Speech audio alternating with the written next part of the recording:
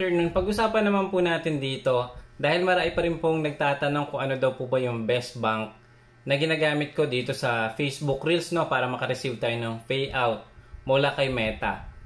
Uh, actually, pwede naman po different banks. Okay, as long na nakaka-receive po ng international payment or USD account. Pwede po 'yon. But uh, ako personally ang gamit ko pong bangko no, AUB or uh, Hello Money. So, mula pa lang nag-start ako kay YouTube tsaka kay um, Facebook, ito na po yung ginamit ko. Very convenient itong bank na to. Ito, pakita ko sa inyo guys, no? Bali, dalawa to guys eh. Ito yung sa Hello Money. Ito yung card. Ito siya. Ayan. So, dito, uh, madali lang mag-apply nito guys. Meron, net, meron applications nito sa Play Store na pwede nyong i-download para makakapag-create kayo ng account. Meron din tayong full guide nito guys na paano mag-create ng account nito step by step na sa YouTube channel po natin. So pakita ko sa inyo guys, ito po yung applications ng Hello Money. Ayan, ito guys. Ito to. Tapos AUB. Ayan. So dalawa yan guys. Si ano si Hello Money under siya ng AUB. So ito guys napili ko na ano bangko kasi nga sobrang convenient nito sa transaction fee, sobrang baba lang po ng ano, ng naliles. Actually, halos wala nga pong naliles dito eh. Kasi nga, uh, depende po yung USD kapag na-process nila, doon lang sila magbe-base. Tapos, makikita mo kagad kapag may pumasok na po dito na ano, na sahod nyo mula kay Facebook. Ayan. So, ito yung guys. Ito naman card. Kung gusto nyo kumuha nito, meron, meron atang bayad nito sa ano, sa AUB mismo nasa 150 pesos or 200. So, doon ako nag-apply nito. Hindi ko lang alam before na pwede naman pala mag-apply nito gamit yung ating mobile phone para less hassle, 'di ba? Kung gusto mo lang kumuha ng card, tsaka ka lang pupunta sa EUB. So, eto yung guys. Eto yung yung card. Okay? So, eto. Suggested ko na to guys. Tapos, kapag pupunta kayo kay AUB, sobrang approachable guys ng mga staff nila. So, a-assist po kayo kahit dito sa Hello Money. Okay?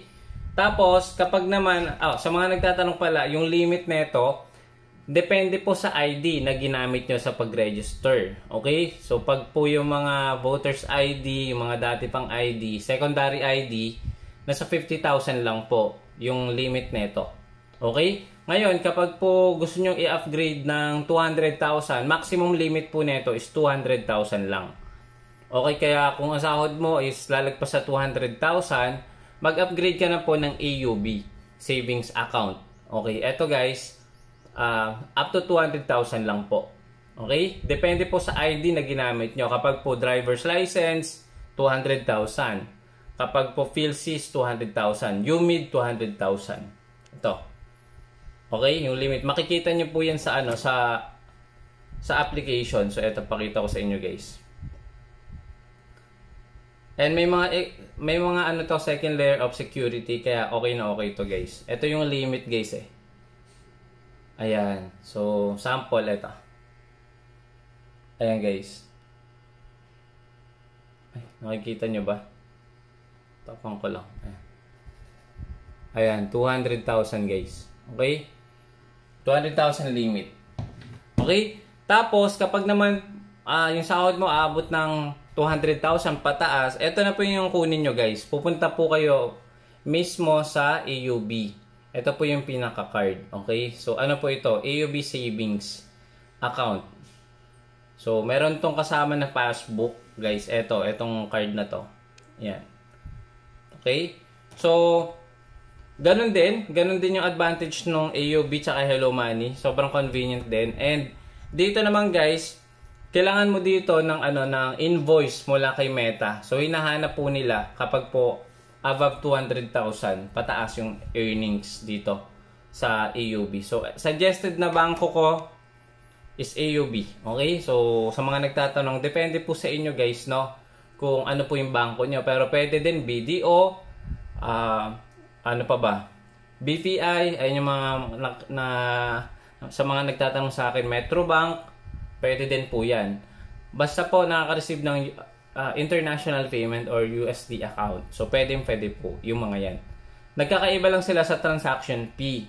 Usually, na-compute ko po na sa 3% po ano yung transaction fee na pag pumasok yung USD na earnings mo, mag- magkakaroon siya ng less or transaction fee. Yun po yung, yung nileless ng bank.